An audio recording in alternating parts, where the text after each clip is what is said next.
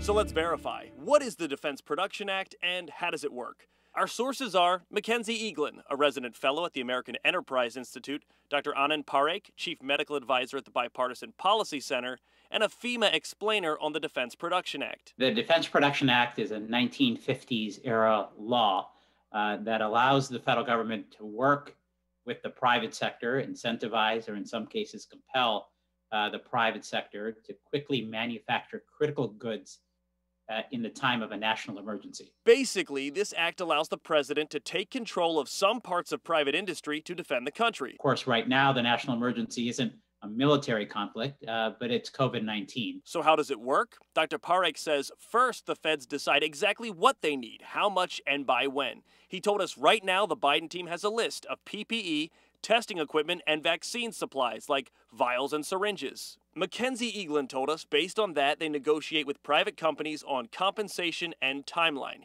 Yes, you heard that right compensation. They have to pay for uh, companies needing to make rapid changes to maybe retrain employees, to rework manufacturing lines or floors. And all of that is part of those negotiations with the federal government. And here's another key aspect it requires private manufacturers to prioritize America's needs. So if China's calling and like, we need our vials too, Uncle Sam gets it first in that scenario.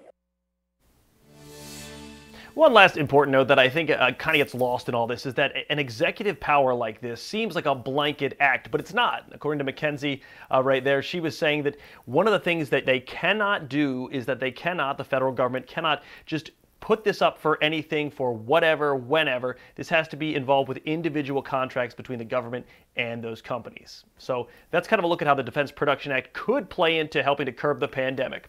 With your Verify, I'm Matt Gregory. Back to you, Tony. All right,